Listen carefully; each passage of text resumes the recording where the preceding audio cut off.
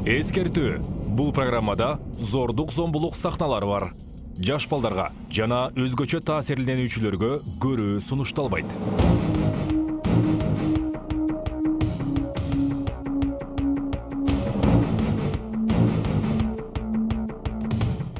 Камышановка. Эртең мененки саат бештер чамасы. Талаа жумуштары менен жүргөн кадыр унаасын көздөй энтигип чуркайт ал телефонуна жетери менен жүз экиге чалат ачым түшкөн ушундай сууда талаада камышаныкыда ушундай бир адам өлүгү жатат деп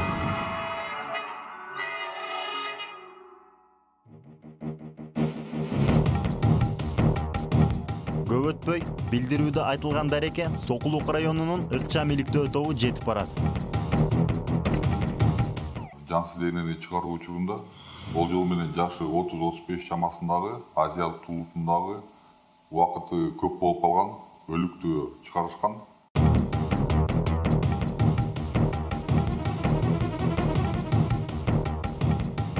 соттук медициналык экспертизанын жыйынтыгына ылайык али өздүгү дайынсыз киши кимдир бирөө тарабынан курга окшош буюм менен муунтулуп өлтүрүлгөндүгү аныкталат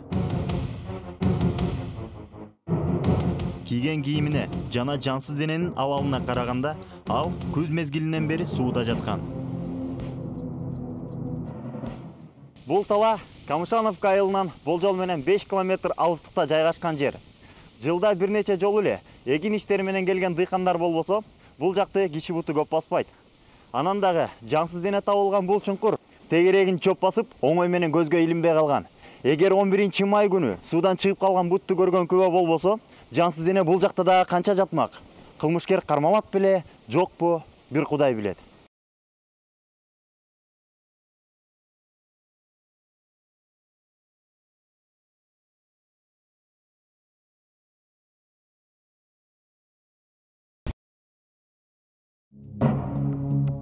Ыкчам иликтөө өкүлдөрү камышановка жана анын тегерегиндеги айылдардын жашоочуларын үймө үй кыдырып кылмышкердин изине түшүрө турган маалымат издей баштайт. Табылган жансыз денени жергиликтүү калктын эч кимиси тааныбагандыгынан улам ал ыраак жерден алынып келинген деген тыянак чыгат.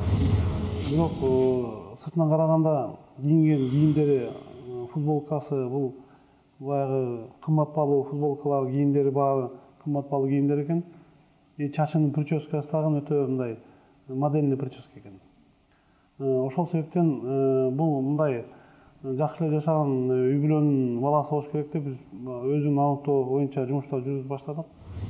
Бул факт боюнча биринчиден өзүн такташ үчүн эгерде ал маркум тирүү кезинде кандайдыр бир себептер менен биздин кызматкерлер тарабынан болобу кандай бир себептер менен колунун тактар изи алынып биздин база данныйга кирсе кийин ал каза болгондон кийин аны алып ошо биздин өзүбүздүн программа бар. Ошо менен салыштырып тактаганга болмок.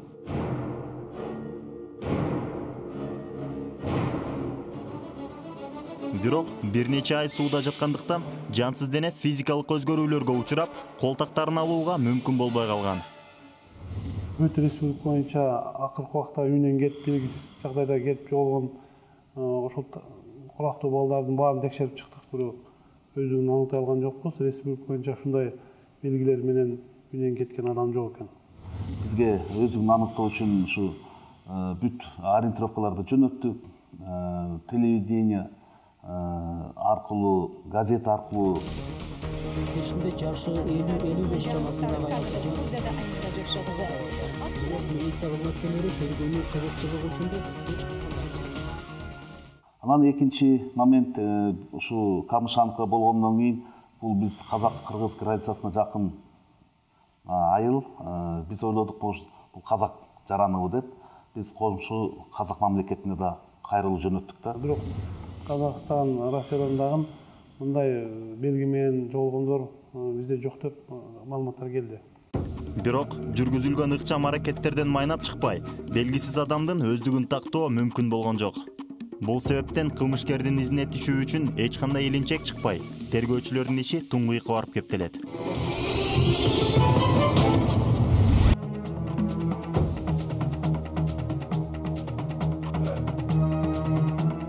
Он биринчи май күнү эртең менен белгисиз адамдын сууда жаткан өлүгү тууралуу милицияга билдирүү түшкөн.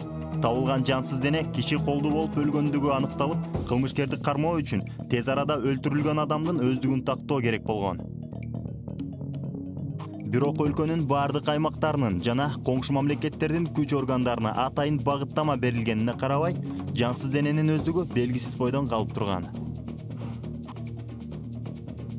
Арадан бир ай өткөндө жетинчи июнь күнү камышановкадан кырк чакырым алыстыкта жайгашкан жерде дагы бир суудан калкып чыгып калган жансыз дене жөнүндө билдирүү түшөт.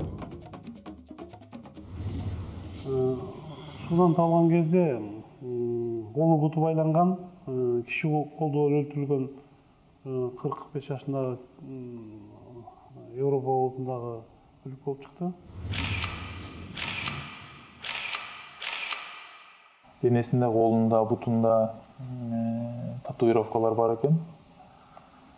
А, анан кийин э, өздүгүн аныктоо үчүн өзүнүн колунун манжаларынан экспертизага дайындоо э, токтомун чыгарып ал жактан э, өздүгү аныкталды. Бул э, баягы түрмөдө көп жыл отуруп келген адамдын өзүнүкүн деп аныктадык кол издерин изилдөөнүн жыйынтыгында табылган жансыз дене 1960 жылы туулган. Мурда баңгизатты сактагандыгы үчүн соттолгон чүй областына караштуу ысык ата районунун тургуну михаил катаев болуп чыгат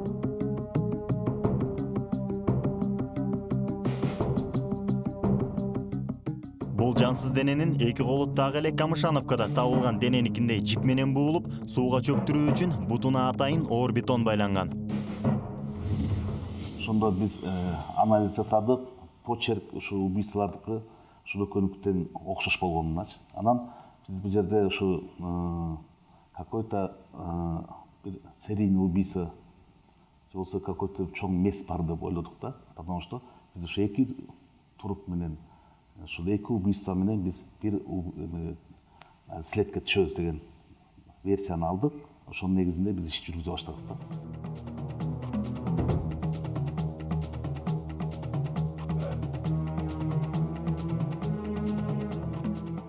кызыгы окуядан бир нече күн мурда гана катаевдин атына жеке ишкер александр левинден свердлов райондук милиция бөлүмүнө арыз түшкөн арыздын мазмунунда катаев левиндин батирин үй ээси израиль өлкөсүндө жүргөндө алдамчылык жол менен өзүнө каттатып садыков аттуу жаранга сатып жибергендиги жөнүндө айтылган. Бишкектин так борборунда жайгашкан эки бөлмөлүү батир чоң энесинен калган мурас болгондуктан левин үйүнүн алдамчылардын колуна өтүп кеткендигин укканда дароо израилдеги иштерин таштай салып учуп келген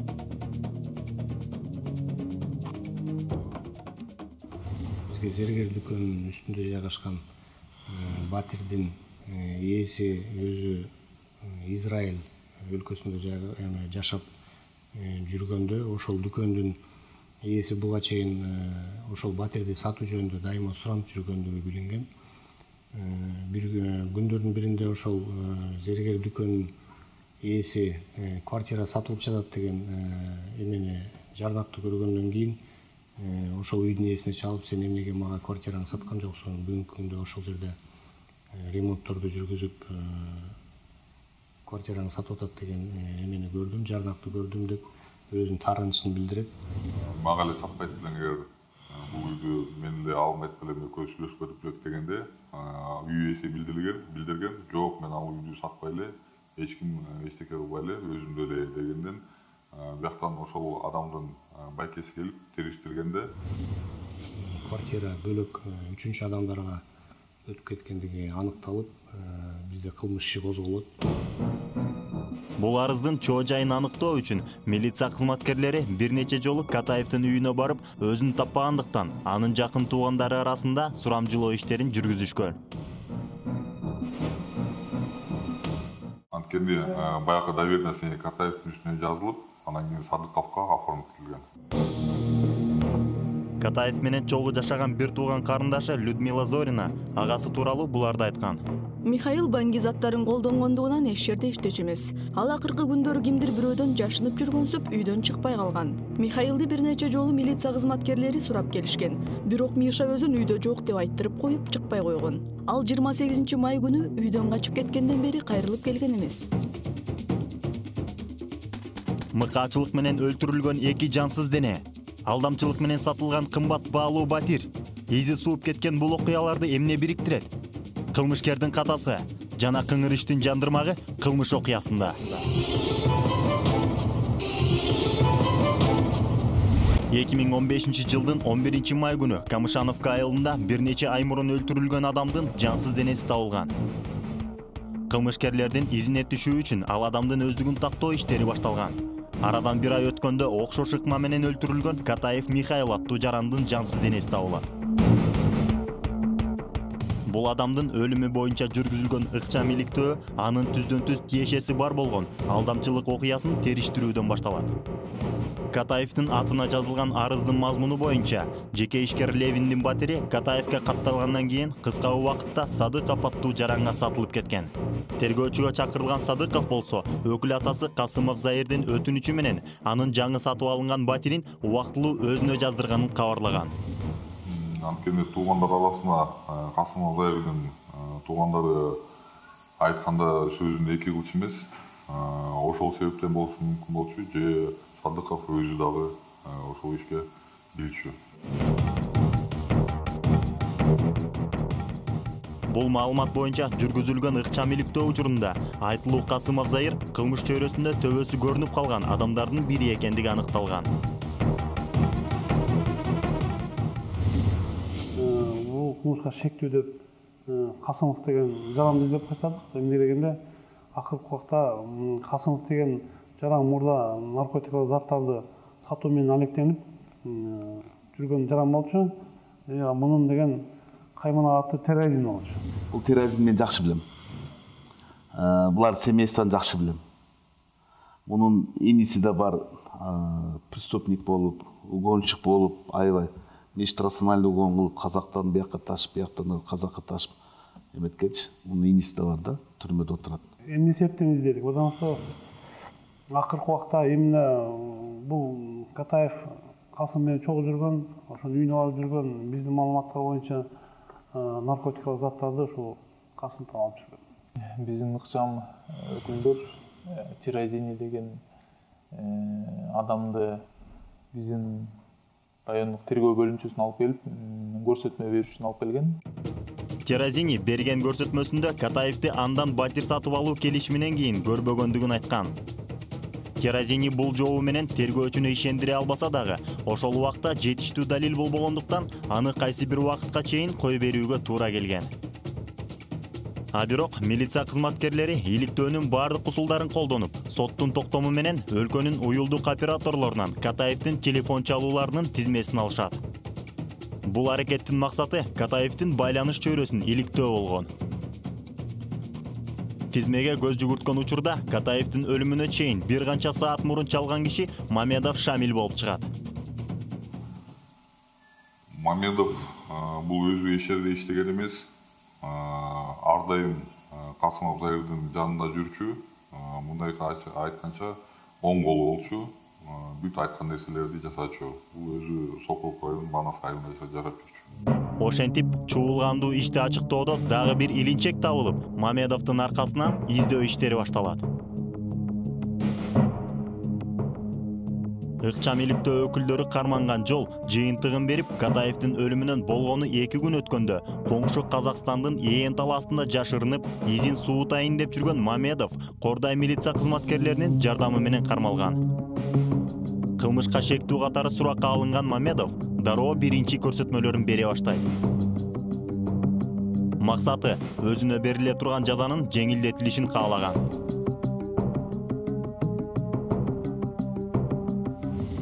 Тергөө сурап баштаганда тергөө убагында бул мамедов айтып берди бизге что катаевдин өлүмүнө өлтүрүлүшүнө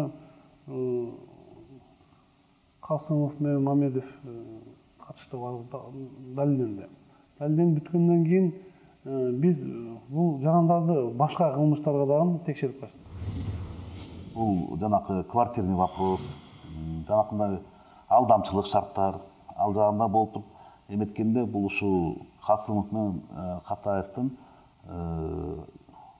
связьдарын ошол тараптан да бир толук тергөө эме аныктап чыкканбыз бизге оперативный маалыматтар түштү Э, бул касымовдун биринчи аялы бар экен ошол биринчи аялынан баласы болгон экен М, баласы болгон экен ошол баласынын сүрөттөрүн алып көтөрүп э, текшерип баштаган кезде бизде ошол он биринчи майда деген э, тиги табылган өлүк а, табылган өлүк ушул касымовдун баласы болушу мүмкүн деген э, тыйнак келип чыкты да.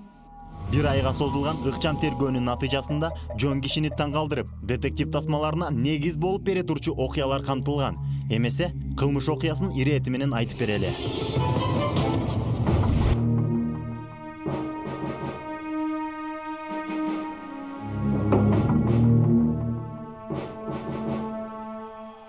эки миң он төртүнчү жылдын октябрь айында араб эмираттарынан жаңы келген керимов идрис атасы теразиниден акча талап кылып терс жооп алганда кол көтөрүүгө чейин барат өз чөйрөсүндө авторитет саналып жүргөн наркобарон теразини уулунун баш ийбей намысына шек келтиргенине кыжырданат жана ичинде өч алуу сезими пайда болот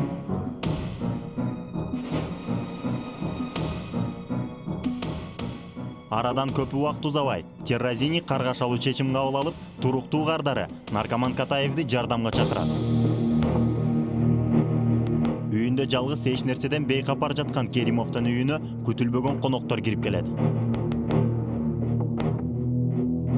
Атасынын караанын баамдабаган керимов анын мойнуна курдун изи түшкөндө гана ойгоно кетип каршылык көрсөтө баштаган бул учурда катаев дагы кара мүртөс терразиниге жардамга келип жаш жигиттин буту колун кармап берген.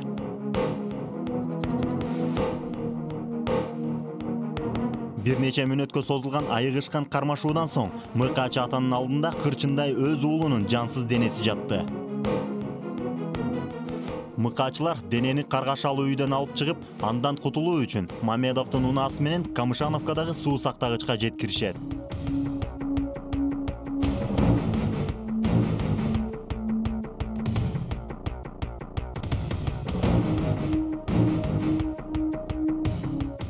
кызыгы терразини жакын туугандары уулунун жайын сураганда ал кайрадан араб эмираттарына кайткандыгы тууралуу шек алдырбастан жооп кайтарган. Өз атасы тун уулун өлтүрүүгө колу баргандыгы ары жүрөк күчүн алчу ары үрөй учурган окуя.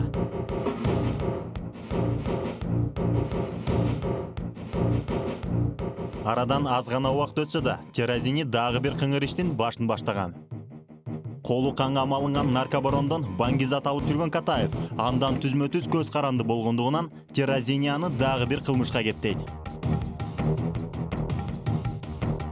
Теразини бишкектин борборунда жайгашкан кымбат баалуу батирди ээси израилде жүргөндүгүнөн пайдаланып катаевдин атына израилден жасалма ишеним кат жасатат. Кийинки кадамында теразини өкүл баласы садыковго батир сатып алгандыгын айтат бирок жубайы менен жакын арада ажыраша тургандыгына ишендирип бул себептен сатып алган батирин убактылуу садыковдун атына каттатууну өтүнөт. Өкүл атасынын сөзүнө ишенген садыков макул болот. Алыста жүрсө да алдамчылыкты билип калган үй ээси арыз жазгандыктан милиция кызматкерлери жасалма ишеним каттын ээси катаевди издей башташат.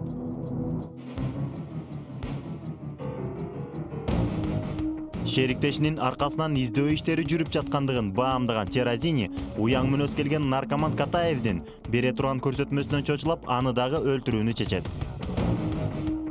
Суук кандуу теразини дароо эски таанышы мамедовго жардамга кайрылат. Ошентип 28 май күнү жашынып жүргөн катаевге аны милициянын колунан сактап калабыз деп телефон чалып алдап сыртка чыгарышат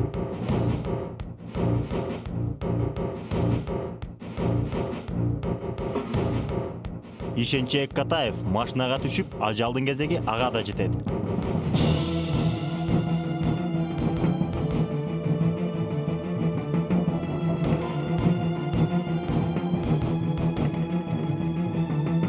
Киши өлтүрүүнүн адисине айланган теразини баласын өлтүргөн колдору менен аны да муунтуп денени сууга чөктүрүп жиберишет.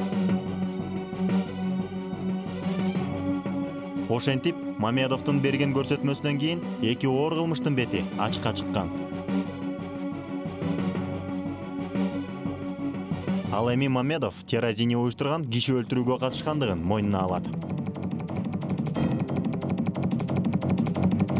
Бул көрсөтмөдөн кийин ыкчам тергөө кызматкерлери терразининин дарегине ошол замат чыккан бирок терразини жакында колго түшөрүнө көзү жетип абактагы жашоодон коркконунанбы?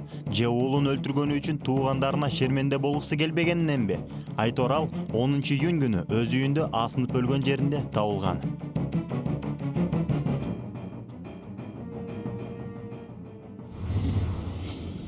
Мамедовду кармалган мамедовду сурамжылоого алган кезде мамедов айтып берди да ошол ошол кезде э, касымов өзүнүн баласы менен урушуп жүргөн катуу катуу урушуп жүрүп э, бир жолу келип мага айткан дейт ушу балам аябай мени тажатып бүттү мен деген мага күч колдонот менден акча талап мен ошол себептен бул баланы жакында бул баланы өлтүрүүгө даярданып жүрүм деп айткан биз ошондо касымовдун өзүн өзү алты асын өлтүргөн себебин ошондо түшүндүк да бул өзүнүн баласын өзүнүн өзүнүн тууган баласын өлтүрүп жатат тууган арасында эл арасында кантип ошо көчөдө басып жүрөм кантип элдин бетин карайм деген